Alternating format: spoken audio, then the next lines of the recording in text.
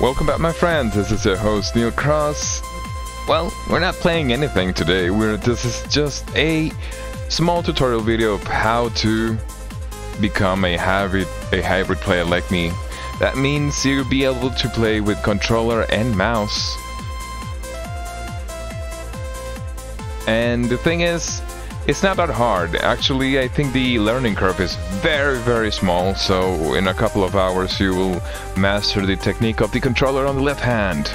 Now, disclaimers, just a couple of things. First of all, this game, this uh, video is not sponsored by anyone. All the brands I'm gonna be showing you in here, it's because I've used them. It's because I have more than, let's say, ever, ever since 2009, I decided to. Well, it, it, was not a decision of create this setup. Uh, it's not me who created it. I call it the cross setup uh, because it's a cross playing between controller and, and keyboard. Also because Neil, Knil Cross. But yeah. Also, you can call it the hybrid setup for the same reasons, because a hybrid in between console player and PC player. It's the good in the middle. Well, you know the, the, the saying, jack of all trades, master of none? The thing is, there's a an ending to that saying. Jack of all trades, jack of all trades, master of none, but still better than master of one. Now, the thing is, this setup is gonna allow you to play every single FPS with the precision of the mouse and the comfortability of the controller. Now, let's start by the first things. There are two modes, or at least I am going to describe them as two different modes called the True Hybrid and the Emu Hybrid or Emu Hybrid. The True Hybrid is when you have a, a game like, for example, Black Desert Online. The thing is with this setup, it allows you to have the best of both worlds. Of course, every single thing has their downside. No, nothing is perfect if it, where everyone will be using this. But the thing is, uh, there's many games I play with this one, as I said, Black Desert Online. Also, you maybe know that I play Knockout City. I play with a hybrid setup. Setup. I play Children of Morta, Enter the Gungeon. Hyper Light Drifter is one of my favorite adventure no dialogue, amazing uh, action adventure game, and with a hybrid setup, it's actually easier. The game it feels more comfortable.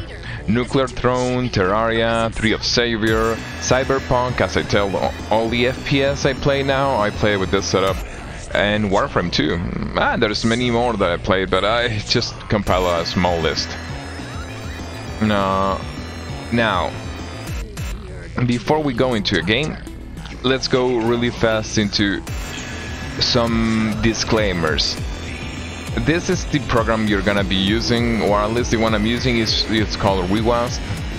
It allows you to emulate a controller as a keyboard, or also, if the controller is supported, it allows you to have full remap of your controller I'm gonna put on the link on the descriptions all these setups I've done. This these setups are made well this one is not actually useful. But all these setups I have it's for a game in particular and what I use for that game and so you can have every single one of them. Another disclaimer I'm gonna be showing you which controllers and mouse I've used and I recommend to use this setup. Though some you are not it's not locked to those controllers specifically neither to the mouse. You can use whatever mouse you like but be aware this is the disclaimer. Controllers might with the paddles on the back might not work. Probably will not work on the on this um, software. But if you can remap your controller by itself for example there's many there's many many uh, controllers that I will recommend that are remappable like for example this one uh,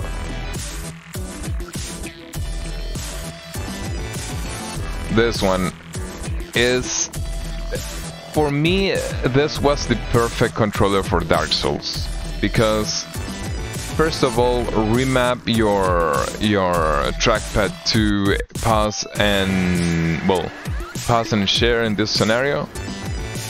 I was I did remap those two to up and down so I can switch over my skills. And the pedals on the back one was to run and dodge which was also remapped in this one as you can see in here.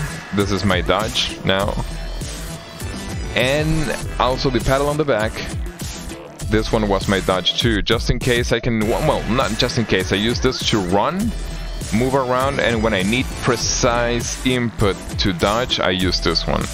Now, this controller, as I said before, it was perfect for me for Dark Souls. Sadly, the paddles on the back broke, so I had to send it back to get a refund because it's no longer available. The risk is, for example, I'm gonna...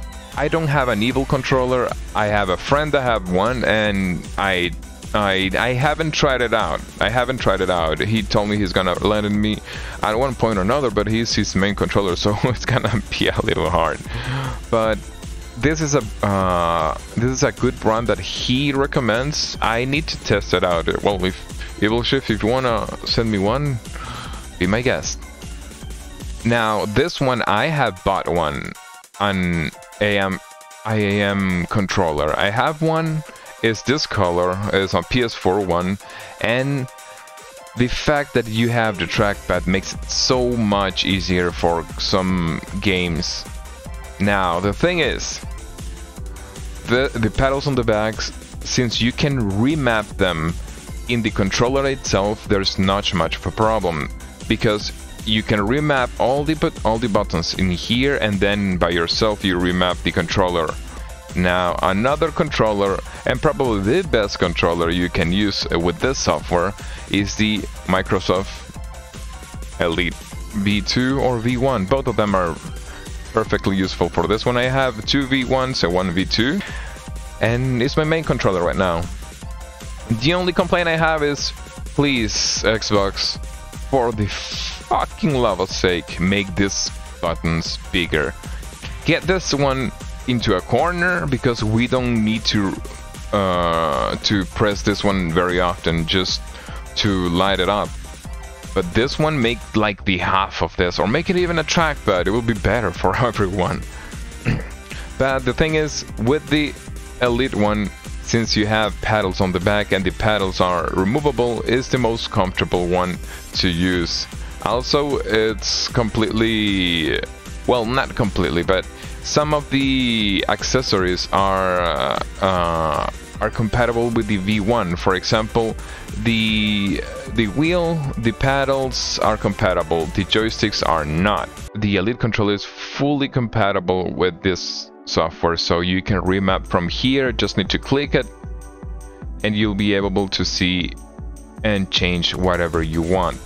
A couple of basic basic rules that if the controller slides you're gonna have a big, big, big problem there.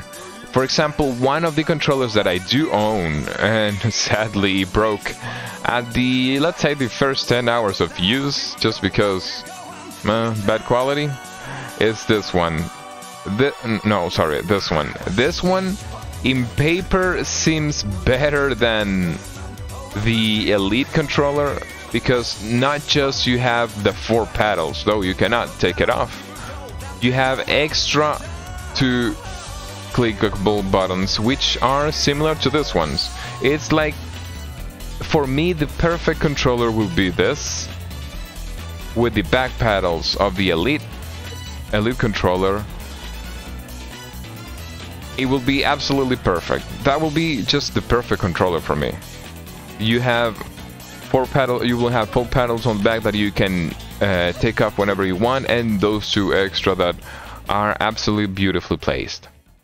So Razer, if you ever do that one, and also don't do it on plastic. This this thing breaks. Do it just like this. This is the best one so far. I've never seen a best a best configuration for paddles than this one. This is perfect. Don't switch it over. Even I prefer the the back pedals of the Elite 1 because they are a little bit longer. I still use my Elite 1s in combination of the Elite 2. I have the longer one down here and the shorter one down here. But yeah, so be careful of what this one. Speedlink, Equinox, on paper it looks amazing you can you can change a lot of stuff and you have a little eh, what you see there eh, when the the um, the word that says well the brand that says speedlink is actually a little screen that you can switch over stuff with those two wheels but yeah now going back to the setup and how you do this now, let's go back to the program and let's make one from scratch. That way you're gonna know how to do it. It's very simple. Let's go make a new one. It's gonna be very easy. This is gonna be just a test Knockout City. Test KO. And we're gonna be adding. This is a clean setup. I don't have not even my my curves on the on the analog. This is pure clean. Nope. Cancel. Now, how do you set up for if you want to play specifically Knockout City that it doesn't allow you to have a controller and mouse at the same time, you're gonna need to uh, to remap it as a keyboard. You have this magic wand that allows you to make some remaps on the way, but since we're not doing that, we're gonna be going really fast into this one. First of all, the WSD, simple, you can click right in here. Click into this, now you have the WSD already into that one. The problem is, at this moment, you have both up and the joystick running, so... Oh yeah, I don't, I haven't I haven't applied. I'm sorry, I forgot I need to apply this one. Okay, now I apply. This is my movement. This, since the game prioritized the controller, as you can see on the on the overlay, I am moving. Uh, there we go. I am moving with the controller and the mouse, both of them are moving at the same time, but I cannot move my mouse. I, I just can't. Now I move my mouse. Every time I start, I'm not gonna start moving, I'm not gonna stop moving. Every time I start moving, I start moving with the controller, it blocks my mouse. So what do you do with that one? Pretty simple. You go back into here, and, oh, you go back into here and you mute the when you put mute it's gonna mute the controller part part of the the, the controller behavior of this uh, uh, of the controller. I mean it's gonna unmap the controller buttons. So now I can move oh well no because I didn't apply. I need to apply that one. Remember apply is very important. Even I that I've been playing with this setup for a long time I forget about that one. Now you see, you can move and aim perfectly whenever you want. But of course, now the controller overlay is not moving because I've muted. You can only emulate this one. Now, what is the next skill that I need? Probably jump. I need to jump. Where do I put it? My first intuition is the one I'm gonna be using the most. So it's gonna be on the left side on this one native I can go for controller but as I said before it's gonna be blocked so you need to go mute on this one. And what is jump? Jump is space. Just click it. Apply. There we go. Now I can jump. Now I can move. Okay now I can move and jump. Now I need flips. Well the flips I do it on the on the mouse. So, this is just a way to show you an example. You're probably not gonna have this mouse and probably not gonna have this brand. Who knows? Maybe yeah. Well, probably yeah. It's one of the most no knowledgeable brands that are, they are in here. So Oh yeah, I don't have... It's on default. There we go. In here I put every single thing that I need to play Knockout City. The flips and spin on those two ones on my mouse. And now we need the dodge. The dodge, I'm gonna put it on the paddling here. Remember, mute. And the dodge, I think, is controller, if I'm not mistaken. Let's see. Yeah, it's controller. There we go. Now I can jump, dodge. Oh, this is not good. I don't want to catch with that one because I have my catch on my mouse. Why is the other? Well, in here, the only thing I... Oh, crap. The only thing I don't have by default on this side is this sprint, which usually I will have it on toggle. Well, not usually.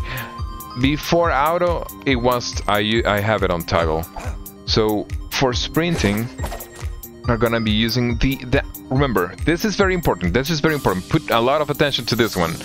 Because sprinting in in a game usually it means you need to hold a long time that one. So I'm gonna be using one that is comfortable to hold which is gonna be my left trigger or the L2 on PlayStation. Now let's switch. Put this one gonna mute you're gonna click. You can search for the input in here but uh, just click what you want. Shift is what goes for running, apply, go back to the game, and now I can run and keep running all I want. Now I can run, dodge, flip. Wait, why am I missing? Just the pass? Once I have the pass, oh, I have it on my mouse. Okay, now I can play. I literally just can go play. Where are you, my friend? Here he is, Knockout City 1. This is the full working setup I use this for the menus, for everything, and now you you can have one too. I hope you enjoyed this one as much as I enjoyed doing it. I'll see you guys on the next one. Remember, balls on me. Tutorials also on me. The hybrid setup on me. And I'll be recording. Haha, bye bye yo. Hmm. I think this was pretty nice. I hope people will get better at this. Yeah.